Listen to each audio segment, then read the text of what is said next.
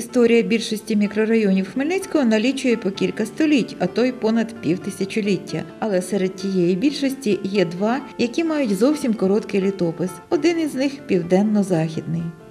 Ще 60 років тому не було цього мікрорайону. Ішла вулиця Фрунзе, теперішня Каменецька. Біля неї були певні будівлі, а далі на захід фактично був вільний простір.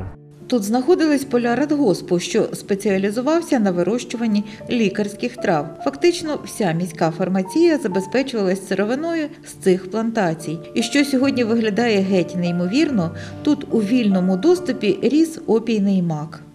В 50-х роках е, на полях цього радгоспу вирощували опійний мак. І тоді це не викликало ніяких там е, розмов, тому що в принципі про наркоманію в радянському союзі ніхто не знав, або ну, можливо чули по радіо, що десь там за кордоном е, це таке є проблема. Але е, не звертали увагу на цю рослину зовсім ніякої. А ми знаємо, що вона безумовно використовується передусім як в лікарській промисловості і значить, для виготовлення певних медикаментів. І от саме цей радгосп, ці поля, вони тривалий час забезпечували наше місто, а також нашу область, от саме е, лікарськими рослинами. Проте на початку 60-х років минулого століття було прийнято рішення про будівництво нового мікрорайону на південно-західній околиці міста. Першою до перетину з уже існуючим Львівським шосе проклали Тернопільську вулицю. Вздовж вулиці Тернопільській побудували перше підприємство. 1965 рік хлібозавод, 66 рік радіотехнічний завод, в 69-му році завод Катіон. Ну а в такому умовному трикутнику між вулицею Фрунзе, Тернопільською і Львівським шосе почали вже житлову забудову багатоквартирними будинками. Хмельницький радіотехнічний завод або теперішній новатор відразу став флагманом промисловості Хмельниччини. Орієнтований на випуск високоточних вузлів для військово-промислового комплексу, він зібрав у своїх КБ і цехах немало світлих голів. Це були люди з високим рівнем освіти та професійної майстерності. В 1966 році був збудований радіотехнічний завод. Е, потрібно сказати, що це було найбільше підприємство нашого міста Хмельницького. Е, завод будувався як оборонне підприємство і, безумовно, виробляло різноманітний асортимент продукції для військового комплексу. Ну, передусім, це е, для військової авіації. Вироблялося навігаційне обладнання, радіоелектронне обладнання. Е, Причому таких аналогів в Радянському Союзі е, зразків продукції, які вироблялися тут на нашому радіозаводі, не було. Через кілька років поряд із радіозаводом з'явилося підприємство Катіон, менш засекречене, але теж дуже наукоємне та розгалужене виробництво.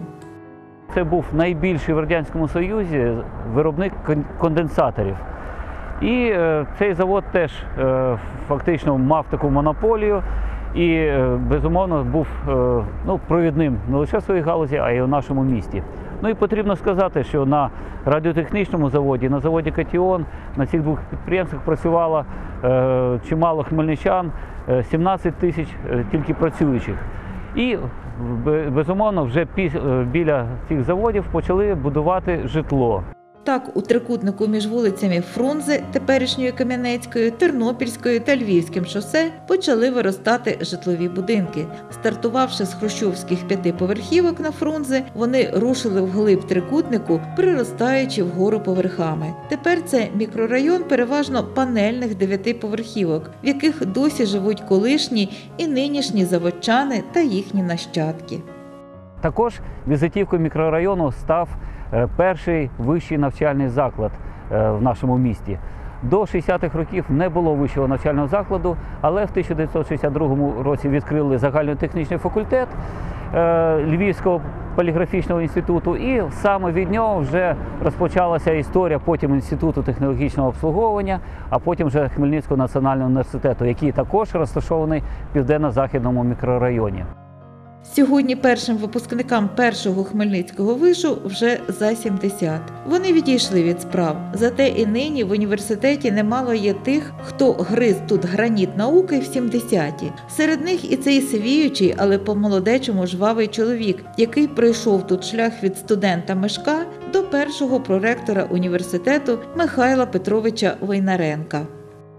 Університет розвивався і вже 1967 році він переріс Хмельницький технологічний інститут побутового обслуговування. Вже було три факультети: і технологічний, і інженерно-економічний. І е, так, з роком за рік кількість студентів збільшувалась аж до найбільшої позначки це коли було 13,5 тисяч студентів. На сьогодні 8,5 тисяч студентів.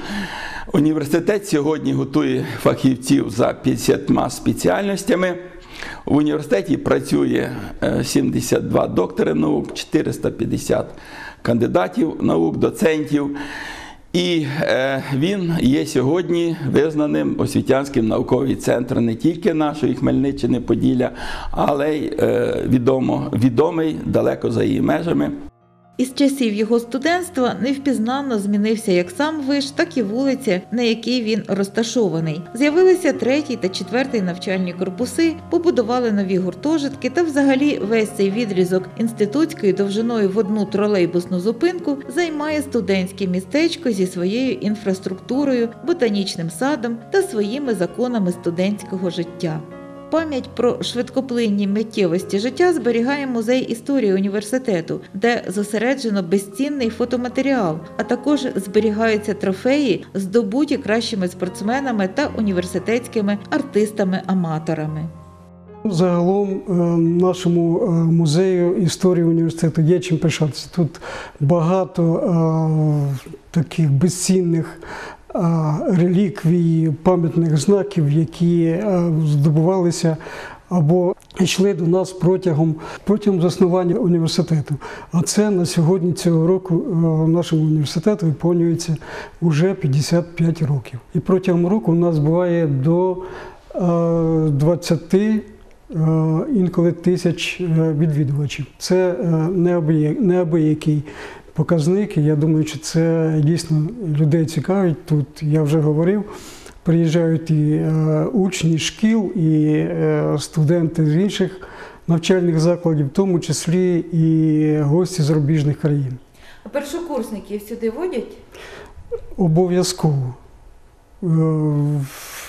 Е, Після того, як вони ознайомилися, загалом почитали лекції, вони приходять е, в музей, е, розказуємо про здобутки музею, про історію університету, про те, що у нас є, чим ми можемо гордитися, про наших випускників, які е, здобували, е, підвищували рейтинг університету, ну і багато інших, багато інших речей.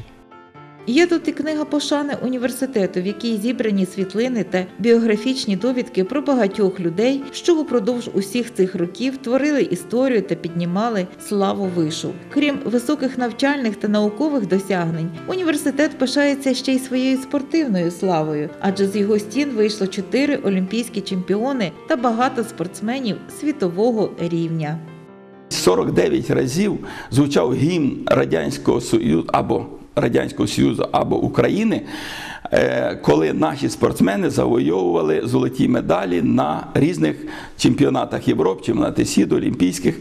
Це дуже е, ну, так, е, показник високого рівня.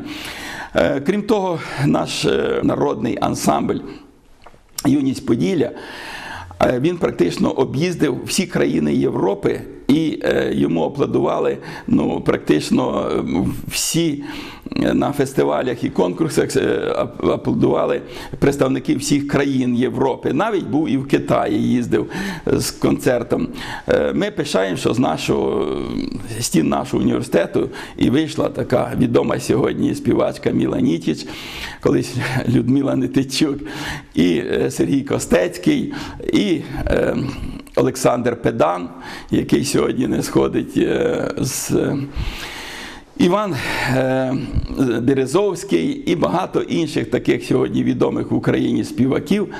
Ще один університетський музейно-виставковий центр створений 5 років тому. Завдяки ентузіазму його творців і дизайнерів тут облаштовано повноцінне і дуже цікаве сховище пам'яті. Не можна сказати, що сюди вдалося увібгати всі технічні досягнення людства. Та й, мабуть, ніхто не ставив перед собою такої амбітної мети. Але тут простежується історія багатьох спеціальностей, за якими сьогодні університет готує фахівців. Тут насправді дуже цікаво. Живі експонати, любовно зібрані студентами та викладачами, вдало доповнені стендами, що містять коротку історію тієї чи іншої науки та її фундаторів. А головне, що все те можна помацати руками або навіть послухати, як от цей старий патефон.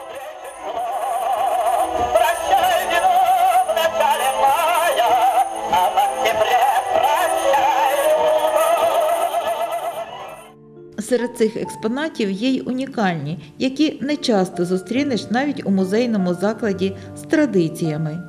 Унікальні експонати, це я думаю, що всім це цікаво. Е, Це телевізор е, КВН 49, перший серійний телевізор, який виготовлявся радянською промисловістю, е, починаючи 1949 року. Також телевізори нашого Хмельницького заводу Катіон, е, перші комп'ютери, перші фотоапарати. Більшість представлених експонатів вітчизняного виробництва. Колись ця техніка використовувалась тутешніми викладачами і студентами, аж доки не поступилась місцем більш сучасній. Це вся техніка, яка використовувалася в нас е, в інституті, в університеті. Е, Колись нас е, десь приблизно до початку 90-х років в нашому університеті існував досить такий унікальний обчислюваний центр, який займав площу зали кінотеатру, і там розміщалися дві машини. Це на той час була досить дуже серйозна техніка, і вона вирішувала значні такі задачі. Також е, чуть пізніше з'явилися персональні комп'ютери типу ДВК-2, ДВК-3, е, які також були використовувалися в нашому університеті.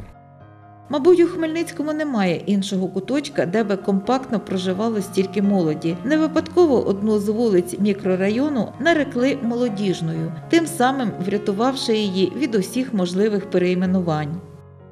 В 1960-х роках збудували тут корпуси е, обласної дитячої лікарні. Е, ну а потім вже пізніше добудували і пологовий будинок. Зараз е, це фактично такий медичний у нас комплекс, який саме і лікує дітей, і народжуються тут діти. І проклали вулицю, е, е, яка отримала спочатку назву Затонського, а на теперішній час з 1991 року має назву вулиця Хотовицького. Не випадково так перейменували, тому що е, Степан Хотовицький народився в Красилові в 1796 році, і в 19 столітті це був один е, з фундаторів е, акушерства і педіатрії в Російській імперії. І він фактично створив такий перший підручник по педіатрії. Саме в цьому мікрорайоні 47 років тому з'явився перший у Хмельницькому тролейбусний маршрут. Було це наприкінці 1970 року, тепер уже далекого. Відтоді тут, на Тернопільській, розташоване тролейбусне депо. Щоранку звідси вирушають машини на 19 маршрутів, а надвечір втомлені знову повертають сюди на спочинок.